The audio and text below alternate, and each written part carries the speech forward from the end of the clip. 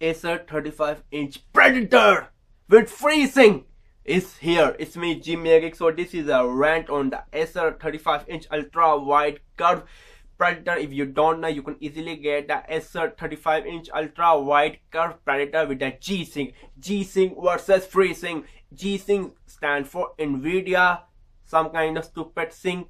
FreeSync sync stand for AMD some kind of stupid thing. I'm not a big fan of any of this thing. I hate this thing because I mean average consumer like me can't buy I mean their monitor is freaking bloody expensive and then G-Sync and FreeSync are going to flop the same way the 3D technology flop or the Nvidia 3D or the AMD 3D technology flop stay away from it. There's no bloody future. I mean it's much better. I mean the monitor manufacturer can focus on the response time on the ghosting problem rather than making these stupid free things and trying to implement it and then trying to if i just bought a g-sync monitor i can't play games with my amd why the monopoly is that? So here is for the acer 35 inch ultra wide curve monitor which the model number is xd xz350cu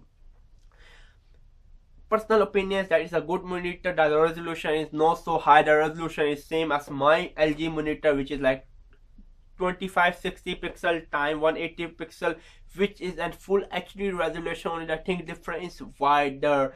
And then this monitor is I mean it's good for I mean web development graphic design because I mean this ultra wide 35 inch ISO monitor covered the 100% sRGB color. It's not only good for web development even for professional work. I really love 100% sRGB color covered so here what I will say. Get this monitor. If you are a web developer if you are going to if you are going to game with like the AMD Radeon or AMD 390 then get this monitor ultra wide. If not then, then just get a regular I mean monitor I mean 16 by 9 ratio because ultra wide monitor I mean not all games support the game support I mean it will require like 15% extra GPU power. And then for FreeSync I mean why the hell you buying a FreeSync monitor with a full HD resolution only? In conclusion I will just give in my rank 10 out of 5 because it do not have I mean any QHD UHD resolution. It's in full HD I don't want to play my games on with FreeSync and full HD I need at least some kind of QHD technology. But only I will get this monitor this monitor is costing me like 600 bucks.